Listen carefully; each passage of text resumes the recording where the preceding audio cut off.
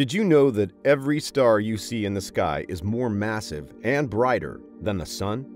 Only a few extremely dim stars out of the about 5,000 that are brighter than the magnitude 6 are around the same size and brightness as our Sun. The rest are all larger and brighter. Don't you find that interesting? When was the last time you gazed at the stars on a clear summer night? There isn't a single cloud in the sky. How did you react when you first noticed that incredible concentration of stars? Just wait till you see the breathtaking images of so called star clusters captured by the James Webb Space Telescope. If you want to be kept up to date on James Webb Space Telescope news, NASA announcements, and other space related news, then like and subscribe to this video. Let's dive right in.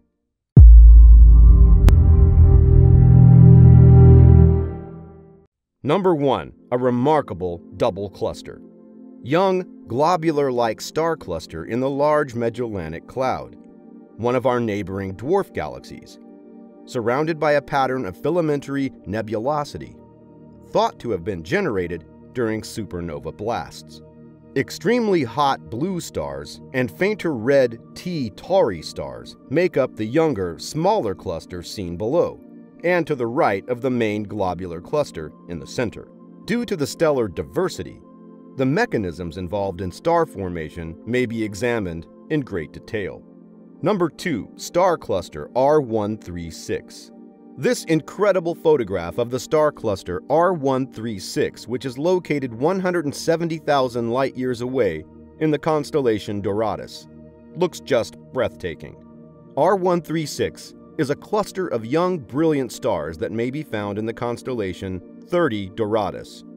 A group of astronomers made the initial discovery of the cluster in the year 1994.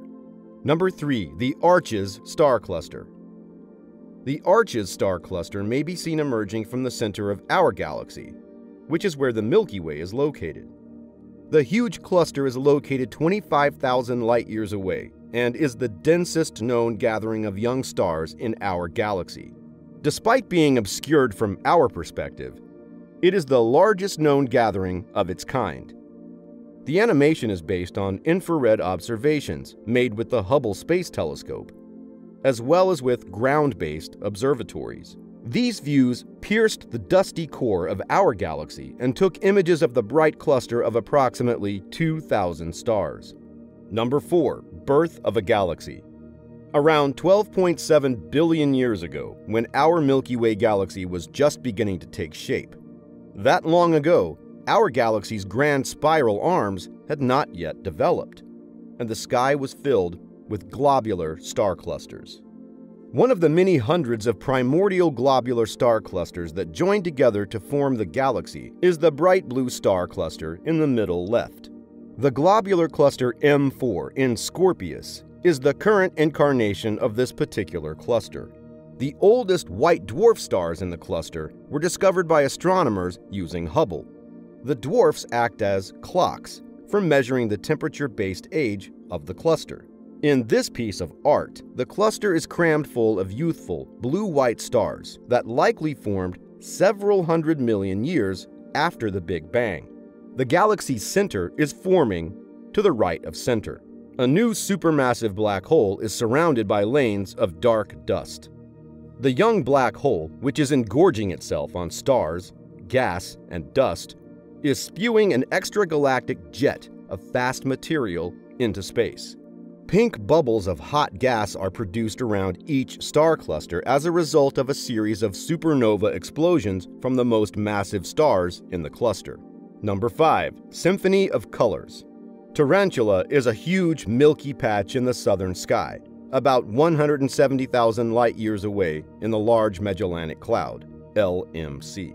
According to astronomers, this relatively small, irregular galaxy is going through a particularly turbulent time in its history.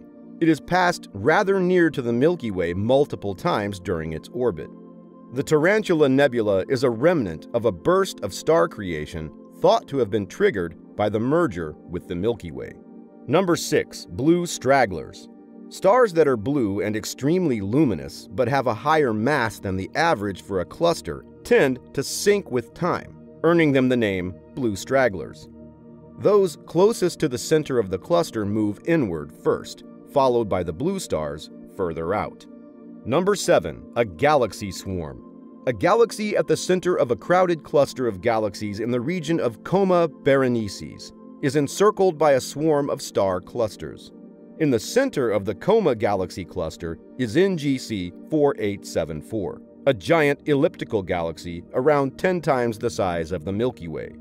There are more than 30,000 globular clusters of stars in its grasp, making it the most massive galaxy known to humanity.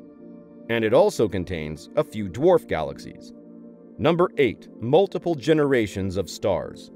Hodge 301 is one of the oldest known clusters of stars. Its star population has been largely decimated by supernovae. The explosions of these stars have crushed the filaments in the upper left corner. In other parts of the image, future news heroes are being nurtured. In other parts of the image, future new heroes are being nurtured. A cluster of extremely massive stars known as Hodge 301 can be found in the most active starburst zone in the local universe. Hodge 301, seen in the image's lower right corner, is a member of the Tarantula Nebula's resident population in the Large Magellanic Cloud, our nearest neighboring galaxy. Number 9. Trumpler 14. Here we see the star cluster Trumpler 14 via the eyes of the NASA ESA James Webb Space Telescope. This cluster contains some of the most brilliant stars in the Milky Way galaxy, and it's one of the biggest concentrations of such hot, massive, and bright stars. This large patch at the cluster's center is a Bok globule, a small dark nebula composed of dense dust and gas that has been observed to exist on its own. Their density and structure are still a bit of a mystery, therefore, researchers are currently hard at work trying to figure them out. Number 10, Trumpler 14 in the bigger picture. The stars and dust in the Carina Nebula are depicted in stunning clarity in this color composite image. Located in the Carina Nebula, the open star cluster Trumpler 14 is highlighted in red. This cluster is composed of exceptionally luminous, youthful stars. Number 11. Infant stars in close galaxy. A population of newborn stars currently emerging from collapsing gas clouds has been uncovered by the James Webb Space Telescope of NASA and ESA in the nebula NGC 346. There is no sign of any nuclear fusion happening because they have not yet lit their hydrogen fuel. The least massive of these newborn stars has only half the mass of the Sun. Number 12. An Arcade Adventure. The young open star cluster IC 1590 has been studied by astronomers using the NASA ESA James Webb Space Telescope. It's located within the star formation region NGC 281, sometimes known as the Pac Man Nebula, for its similarity to the iconic arcade game character. The image focuses on the brightest stars at the cluster's core, with the black region below representing the ravenous mouth of the Pac Man Nebula. Number 13. Trapezium in Orion. The NASA ESA James Webb Space Telescope investigated a nearby stellar nursery and discovered a swarm of newborn brown dwarfs. Roughly 50 of these objects were spotted by the orbiting observatory's near infrared camera within the trapezium cluster in the Orion Nebula, which is located about 1,500 light years from Earth. Number 14, the cluster with a secret. This image of Messier 53 was taken by the NASA ESA James Webb Space Telescope and shows the globular cluster in stunning detail. The cluster is held together by gravity and has a roughly spherical shape, growing denser in the center. Including Messier 53, the Milky Way is home to around 150 of these gigantic, glittering orbs. It is about as far from the galactic center as the Sun is from the Sun, and it is located on the galaxy's outer margins, where many other globular clusters are found. William Herschel, a prominent astronomer who was not known for his poetic tendency, once described a globular cluster as one of the most beautiful objects I remember to have seen in the heavens, and it's easy to see why. Number 15. The Wing of the Magellanic Cloud. Magnetic activity in young stars can be detected in their light. A star's rotation rate and the rising and falling of hot gas in its center can be deduced from its magnetic activity. Scientists speculate that if young stars' luminosity features are consistent across the galaxy, then other relevant properties, such as planetary formation, are also likely to be consistent. We appreciate you watching this video. Which image captured your attention the most? Comment below and let us know. If you enjoyed watching this video, click the like and subscribe button to make sure you miss nothing on new information regarding NASA news, the James Webb Space Telescope, and other space-related developments.